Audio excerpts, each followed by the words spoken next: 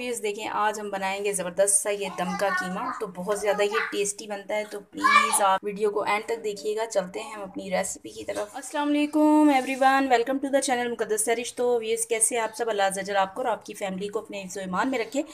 तो व्यूज़ देखें, आज हम ज़बरदस्त सा बना रहे हैं, दम का कीमा बना रहे हैं। तो ये देख लें, मैंने चिकन का कीमा ले लिया है और आप इसमें चाहें तो आप इसमें बीफ या मटन कोई भी ले सकते हैं। चिकन को ये देखें, घर में ही मैंने इस तरह से मंगवा कर और मैंने इसको लदा कर लिया है। इसकी खुद ही मैंने ये कीमा बना लिया नाइफ से। ये थोड़ी सी ये है पीसीस थोड़े से जिससे नहीं हट सकता था। चिकन तो ये फिर खैर है कोई मसला नहीं है ये हम ऐसे ही डाल देंगे साथ में। और ज़्यादा बारीक नहीं मैंने किया हुआ ये देख लें इसकी छोटी छोटा सा मेन है। इसे थोड़ा सा मोटा कीमा रखा इंग्रेडिएंट्स हैं। ये डाल देते हैं इसमें।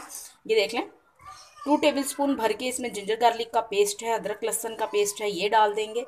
और इसी के साथ व्यूज़ ये ज़रा थोड़ा सा स्पाइसी सा होता है, दम का कीमा नान के साथ ताफ्तान के साथ खाते हैं तो थोड़ा सा ये स्पाइसी सा होता है, जिस तरह के गोला कबाब होते हैं ना, बिल्कुल वही टेस्ट होता है।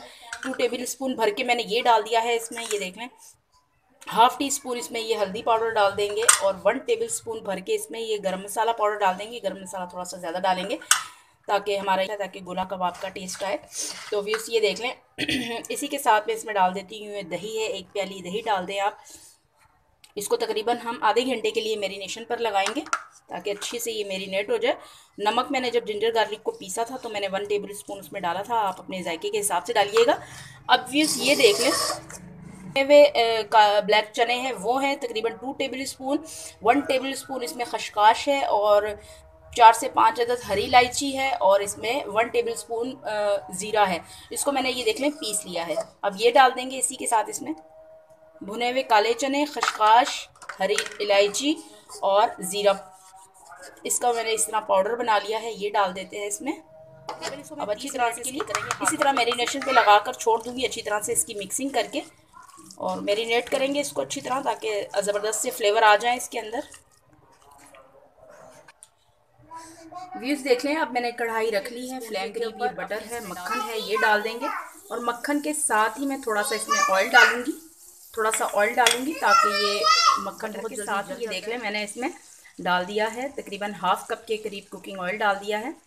अगर इसी तरह मक्खन को हम छोड़ दें बटर को तो ये जल जाता है बहुत जल्दी। तो इस तरह से आपने भी इसमें थोड़ा सा कुकिंग ऑयल डाल देना है। अब मैं इसमें ये डाल देती हूँ ये देखें तकरीबन आधे घंटे के लिए मैंने इसको मेरीनेशन पे लगाया। ये डाल देते हैं।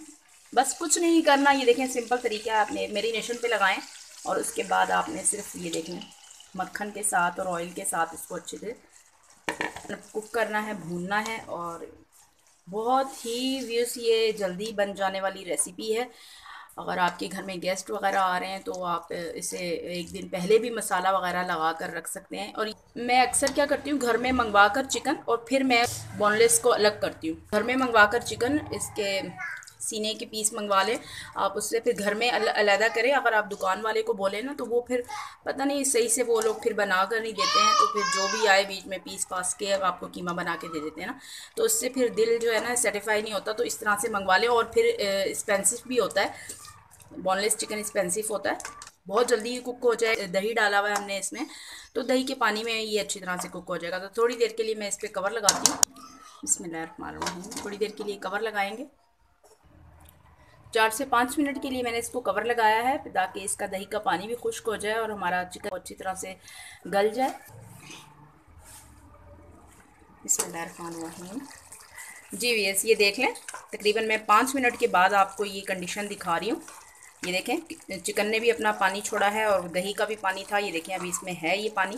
तो फिर मैं मज़ीद इस पर कवर लगा देती हूँ। ये देखें, कीमा मैंने थोड़ा सा मोटा मोटा सा ये बनाया था।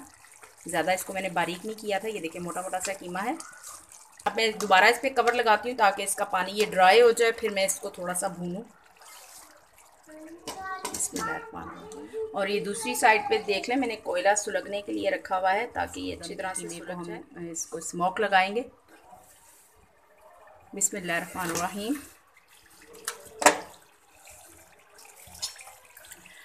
जी वेयर्स ये देख लें काफ़ी हद तक इसका पानी ड्राई हो चुका है। अब अच्छी तरह से मिसनाई करनी है। आपने ज़बरदस्त। सी इस कीमे का बिल्कुल फ्लेवर ऐसे आएगा जैसे आप गोला कबाब खाते हैं ना बिल्कुल इन वही फ्लेवर होगा और बहुत ज़्यादा ये टेस्टी बनता है।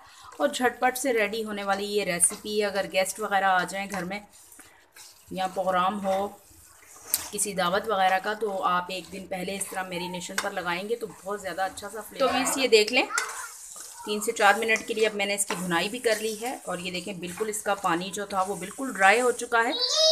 अब मैं इसी के साथ ये देखें, डाल देते हैं। चिकन है, जल्दी गल जाती है। ये देखें, हरी मिर्चें हैं। मैंने जूनियर कटिंग में की, कट की हुई है और थोड़ा सा ये हरा धनिया है। ये डालकर थोड़ा सा हम इसको मिक्स करेंगे। तो ये देख लें, कीमा हमारा डन हो चुका है। अब मैंने जो, ये देखें, कोयला रखा हुआ था सुलगने के लिए। अब ये इस पर डाल, रखती हूँ। बिस्मिल्लाह ये ये देख लें, हल्का सा इसके ऊपर में एक साइड से ये देखें। इस तरह से जैसे आप ऑयल डालेंगे ना तो इसमें से स्मोक बनना शुरू हो जाएगा और जल्दी से आपने ऊपर कवर रख देना है।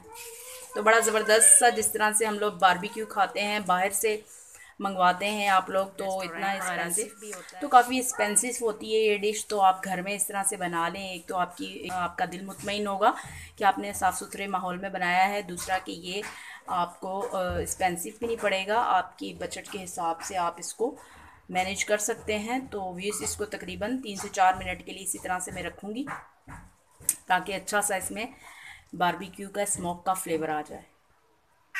बिसमीम तो ये ये देख लें, सारा स्मोक ख़त्म हो गया है, अब हम इसको निकाल लेते हैं कोयले को।